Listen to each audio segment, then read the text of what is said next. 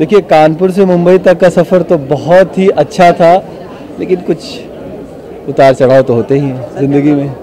ज़िंदगी में उतार चढ़ाव होते हैं तो कानपुर के सफ़र में भी उतार चढ़ाव थे। लेकिन उन सबको पार करते हुए ज़िंदगी मुझे आज यहाँ ला खड़ी कर दी, और मैं बहुत खुश हूँ। आज मेरे लिए बहुत ही इमोशनल दिन है। जो मैं बनना चाहता था, वो मैं बना। चार साल पहले जब, अचानक से ज़िंदगी ने टर्न लिया और कहते हैं ना कि फ़्लो के साथ ज़िंदगी कई बार जीना पड़ता है और मैं फ़्लो के साथ ज़िंदगी जीता गया। और अचानक जब मैंने पीछे मुड़ के देखा तो मेरा ड्रीम बदल चुका था, मेरे मकसद बदल चुके थे, मेरा सपना बदल चुका था और उस बदले हुए सपने के साथ आज मैं आपके सामने खड़ा हूँ।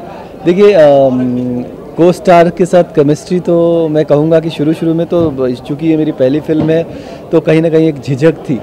लेकिन उसके बाद जैसे ही हम लोग यूनिट में एक दूसरे के साथ इन्वॉल्व हुए, एक फैमिली का माहौल हुआ, फिर हमने इतना इन्जॉय किया इस फ़िल्म को करते वक्त कि मधुरिमा के साथ तो मेरी ऐसी बॉन्डिंग हो गई है कि ऐसा लगता है कि इस फ़िल्म से पहले भी हम कई सालों से एक दूसरे को जानते हैं और युविका ने बहुत बहुत अच्छा साथ निभाया हमारा और युविका के साथ भी हमारी बहुत अच्छी दोस्ती हुई। उसके साथ किए हुए सीन्स जो हैं युविका के साथ बचपन की दोस्ती का दिखाई गई है इस फ़िल्म में।